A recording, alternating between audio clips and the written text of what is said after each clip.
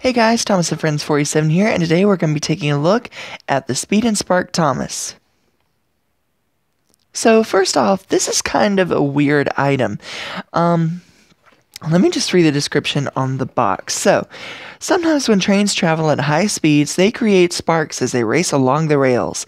Now, speed and spark engines bring that thrilling effect to the world of Trackmaster.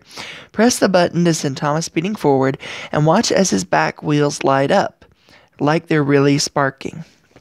So, in one way, it's kind of a cool idea.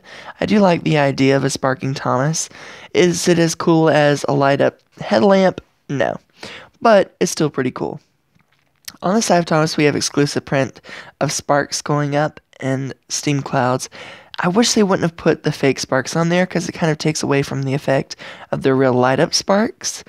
Um, he has good detail all the way around, though, considering he's a Trackmaster 2 engine. One thing that surprised me, too, was um, the middle wheel.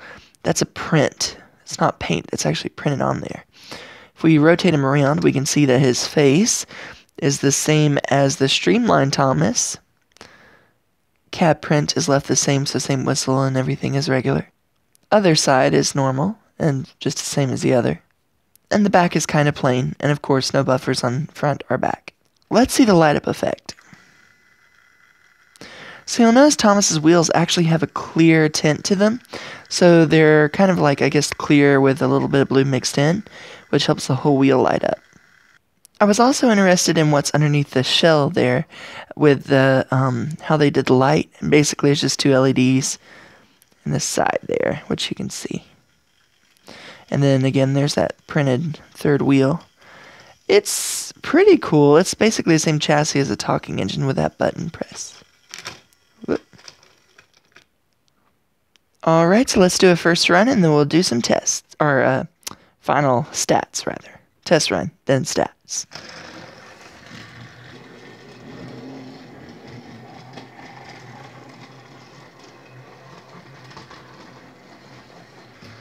I will say it does look like it's actually sparking, so that's pretty cool.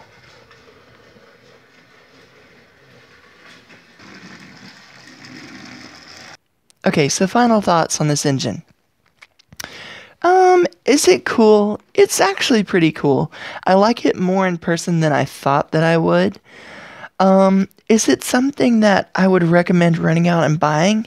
Not exactly, because it's not a necessity to the layout. Um, if you have a realistic layout like me and you like modeling the television series, this probably wouldn't be the engine for you, just because of I don't think we've seen the engines really spark. The brakes spark, you know, when the wheels when they slam on their brakes, but this isn't exactly the same thing. Um, it's a cool item, but other than that, I don't think it has much play value for collectors. For kids, they're gonna love seeing this light up, and I can see a lot of playability getting out of this, especially when it's dark. You know, toward bedtime, turn out the lights, run the train around the around the loop, and this will be great on my Halloween layout as well. So on a scale from 1 to 10 on on the entire product, I probably give it about a 6 or a 7. Probably looking more toward a 6 just because it's an item that doesn't really do much and for a collector, it's not too exciting. It's cool, but you know, this could have been a Daisy or you know, Oliver. So I'm a little bit both ways. Anyway, this is Thomas and Friends 47 signing off. Tell me what you think about this product in the comments below. And as always, thanks for watching.